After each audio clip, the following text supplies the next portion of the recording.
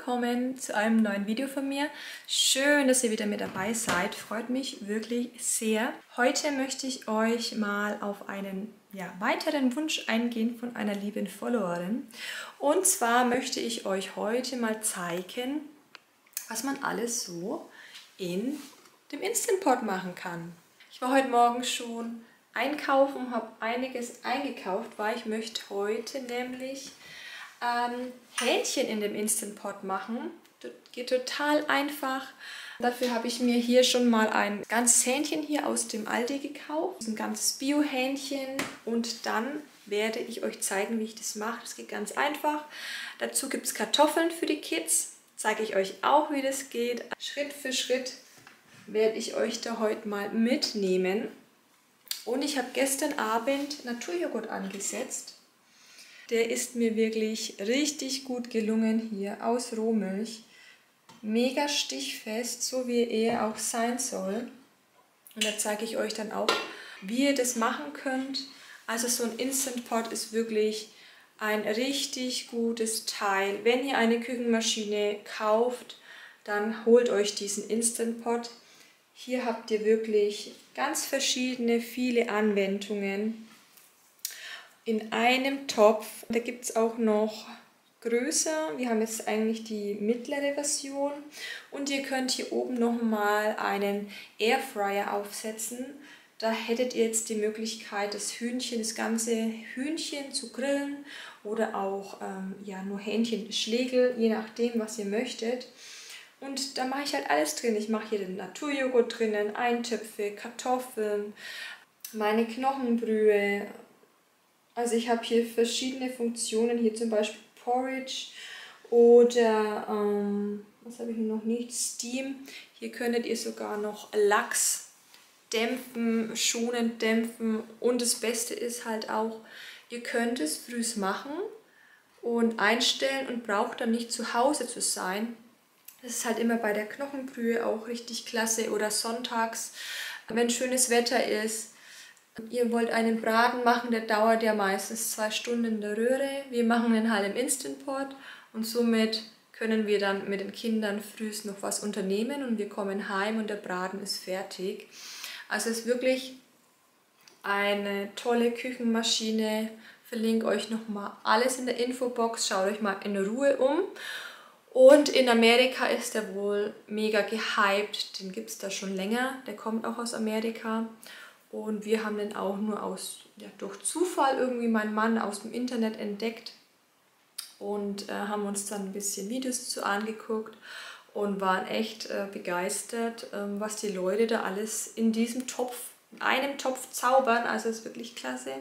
Deswegen zeige ich euch heute ein bisschen, was man darin machen kann, beziehungsweise erzähle euch halt auch ein bisschen und kann es euch ganz gern auch in der Infobox dann schreiben. Aber wie gesagt, heute Abend mache ich das Hähnchen und die Kartoffeln dazu.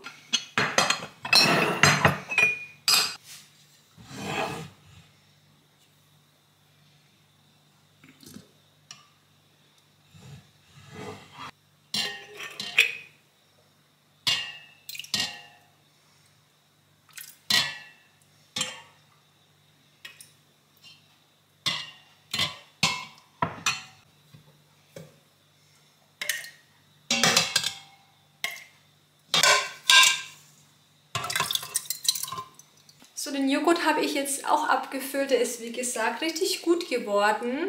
Und ähm, ich habe das jetzt sechs Stunden nur drinnen gehabt.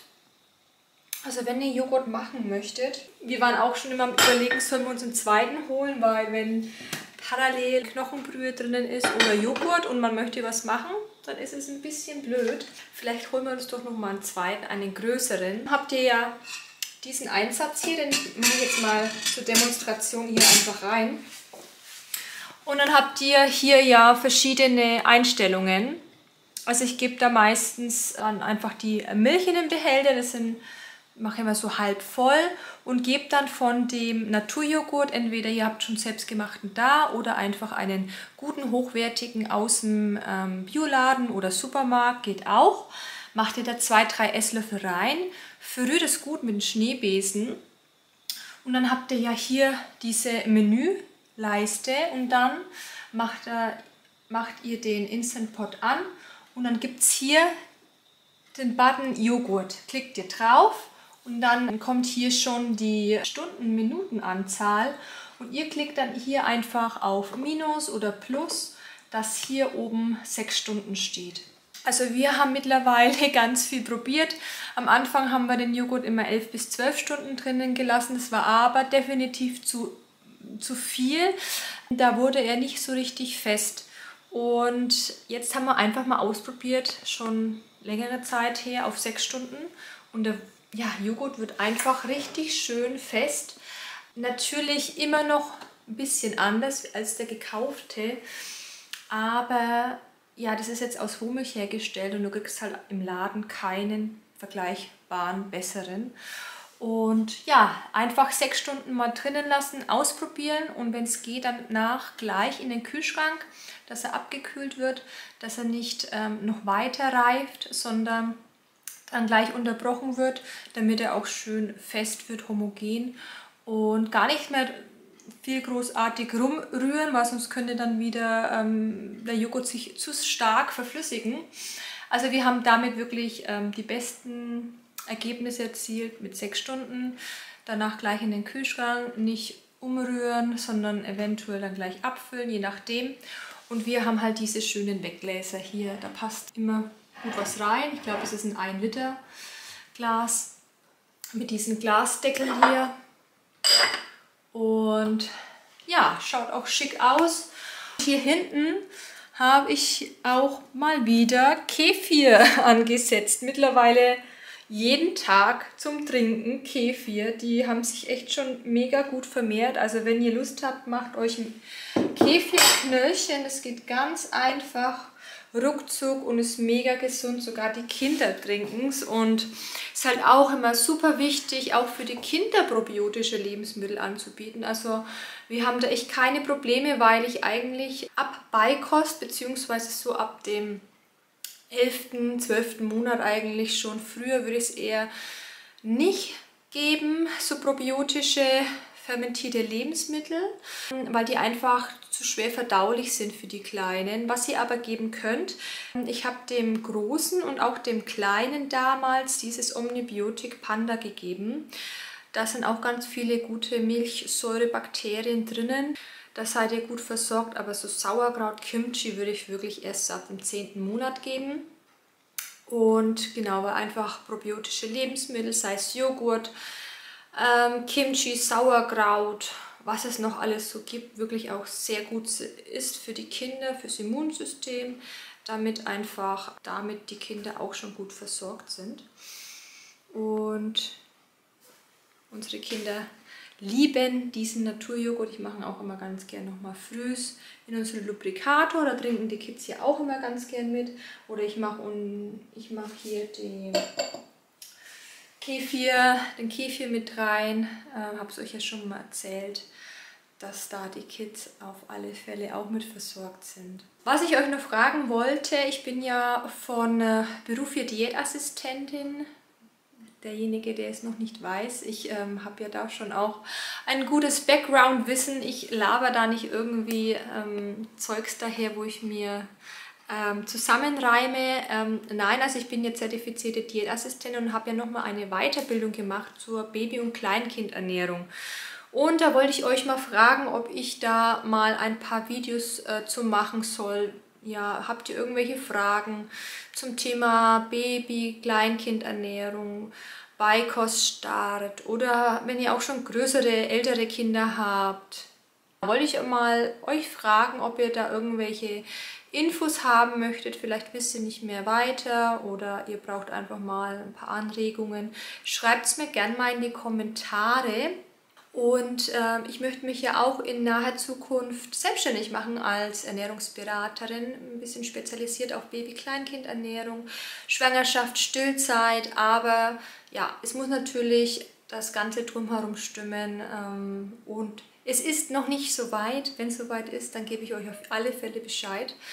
Und ich muss jetzt beeilen, weil ich noch den Großen abholen muss. Aber zum Schluss noch, vielleicht werde ich auch diesbezüglich meinen Content ein bisschen ändern auf YouTube und Instagram, weil ich möchte mich einfach ein bisschen mehr auf eine Richtung spezialisieren. Ihr wisst, ich mache ja eine breite Palette für alle eigentlich ähm, im Bereich ja, Gesundheitsthemen, Ernährungsthemen, Rezepte und ja, vielleicht werde ich da ein bisschen mich spezifischer auf einzelne Themen wie Baby-Kleinkindernährung, Schwangerschaft, Stillzeit, aber auch die Ernährung von uns Mamas ein bisschen da mehr drauf eingehen. Es wird natürlich noch ein bisschen dauern, wie gesagt, ähm, bis alles steht, aber nur mal so kurz vorab damit ihr euch da auch ein bisschen drauf einstellen könnt. Aber seid gespannt, bleibt mir auf alle Fälle treu, weil es wird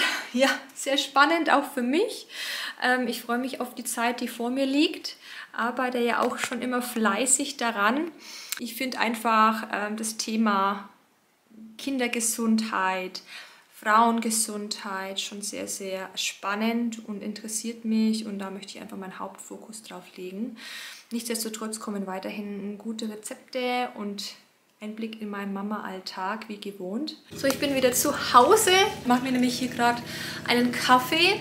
So zwei, halb drei, um drei spätestens muss ich oder trinke ich einfach sehr gerne einen Kaffee und momentan ja meinen Bulletproof Coffee und ich muss wirklich sagen, dass der mir richtig gut tut. Sorgt auch wirklich gut für eine gute Verdauung und für einen gut funktionierenden Stoffwechsel. Also probiert es unbedingt mal aus. Ich finde die Flasche auch gar nicht so teuer. Und weil äh, viele oder einige mir geschrieben haben, naja, man kann ja auch normales Kokosöl nehmen. Nee, dem ist nämlich nicht so, weil hier sind nochmal verschiedene MCTs enthalten und in dem Kokosöl ist eigentlich nur die Laurinsäure enthalten.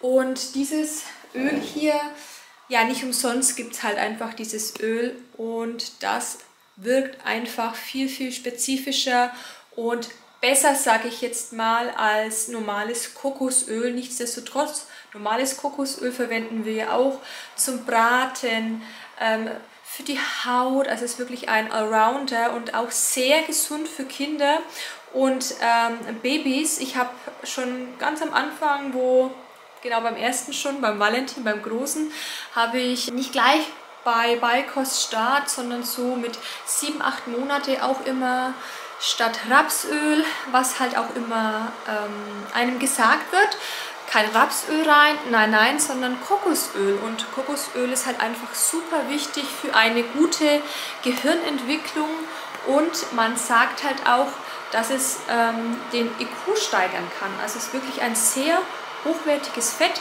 Wir nutzen eigentlich nur Kokosöl in der Küche oder Giebutter oder Rohmilchbutter. Und genau, haben wir hier alles. Muss ich auch mal wieder bestellen, ist nämlich nichts mehr da. Und ja, dieses MCT-Öl habe ich mir halt jetzt geholt. Das nehme aber nur ich. Also mein Mann mag es nicht und meine Kinder gebe ich es jetzt auch nicht. Die brauchen es ja jetzt nicht, ne? nur ich. Deswegen äh, trinke ich das sehr, sehr gerne und es schmeckt halt auch sehr gut und macht auch satt. Also wenn ihr euch so einen Bulletproof Coffee macht am Nachmittag oder in der Früh, der hält wirklich lange an und ich trinke das so ein, zwei Tässchen. Mir macht es definitiv nichts aus. In der Schwangerschaft, in der Stillzeit habe ich keinen Kaffee getrunken, aber zuvor habe ich auch immer sehr gerne Kaffee getrunken und mir macht es überhaupt nichts aus, der Koffein.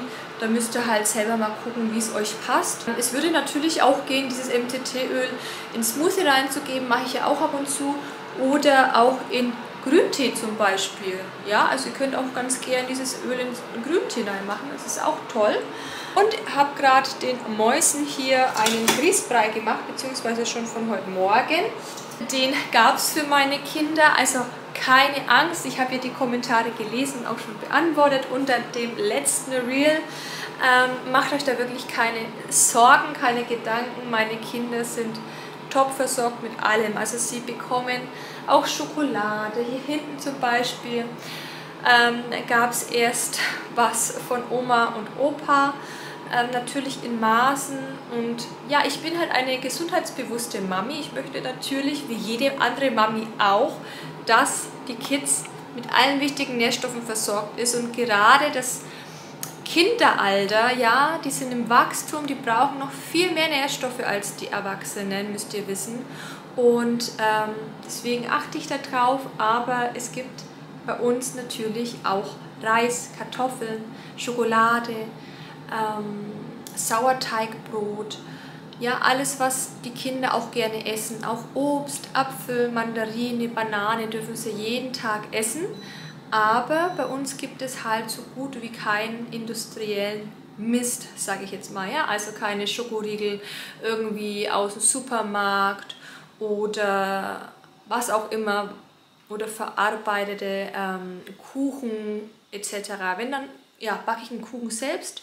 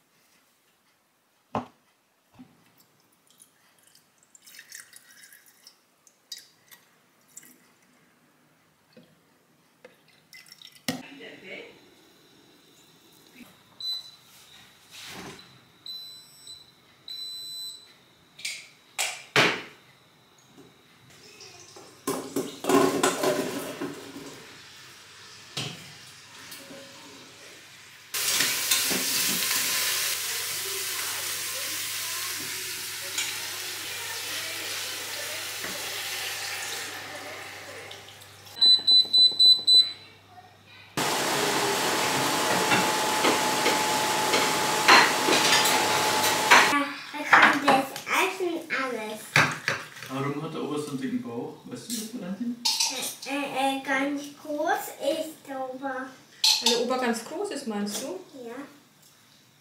So. Riesengroß. Das ist die Frage. So, hallo meine Lieben, es ist bereits der nächste Tag.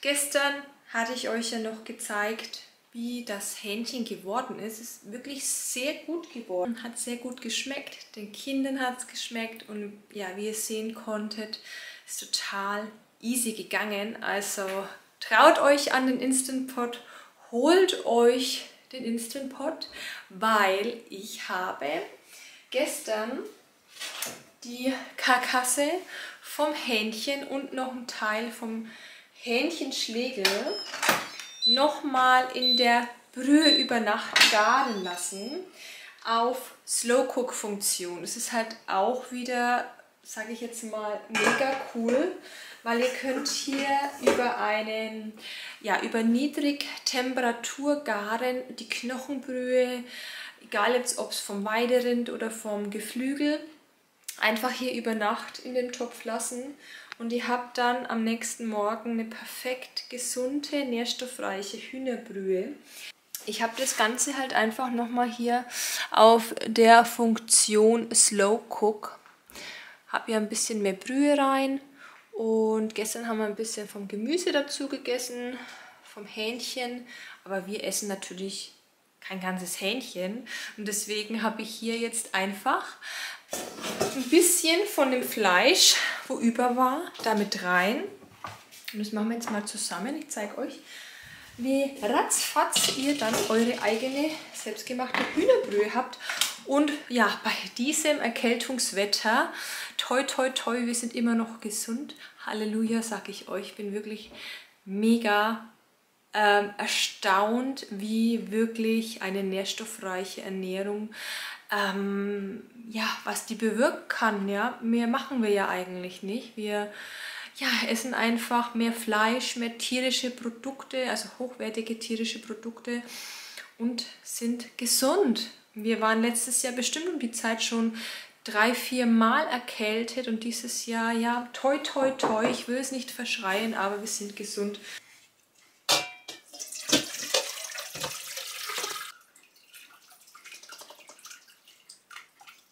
Habt ihr hier das Gemüse, die Karkasse mit dem Fleisch und das löse ich jetzt alles ab, beziehungsweise werde dann das Gemüse hier in die Brühe geben und werde das aber dann pürieren, weil das Gemüse doch schon sehr weich ist und dann äh, ja, werde ich einfach hier das Fleisch von der Karkasse lösen, in die Suppe mit reingeben. Und dann habt ihr eine richtig leckere Hühnersuppe. Und immer gut aufpassen, natürlich auf die kleinen Knochen. Ähm, so ein Huhn hat natürlich viel feinere, zartere Knochen als Schwein oder ein Rind.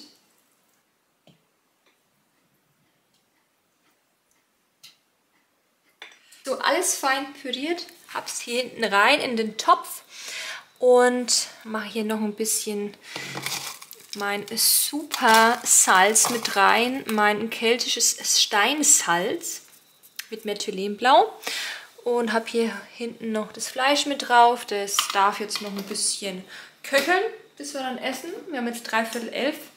Für heute Abend habe ich mir gedacht, ich mache Gulasch und zeige euch nochmal, habe es hier schon mal raus, muss noch auftauen, wie ihr ratzfatz euer eigenes Gulasch herstellen könnt. Und ein kleiner Spoiler, im nächsten Video beginnt bei uns schon die Weihnachtsbäckerei. Ist ja nicht mehr lange hin, wir haben es jetzt schon Mitte November. Und damit ihr euch auch ein bisschen ähm, ja, planen könnt, möchte ich ein paar verschiedene Plätzchen backen. Ähm, zum einen Low Carb Plätzchen, weil ja aufgrund dessen, dass ich ja momentan Low Carb mache, möchte ich natürlich auch ein paar Plätzchen probieren. Und ich mache noch vielleicht ein, zwei weitere Plätzchen für die Kids. Das heißt, ohne Industriezucker, ein bisschen gesünder und da werde ich euch nächste Woche mitnehmen.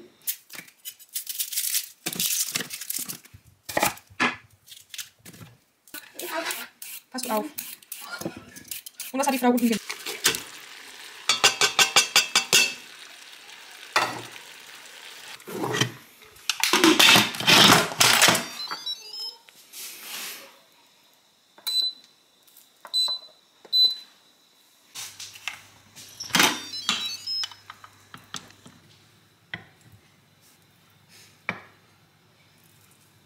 Gulasch ist ratzfatz fertig geworden, ist mega zart, in 25 Minuten fertig. Mm, besser geht's einfach nicht. Ich hoffe, euch hat das Video gefallen, hat euch weitergeholfen und dann sehen wir uns schon beim nächsten Video wieder. Macht's gut. Ciao, ciao.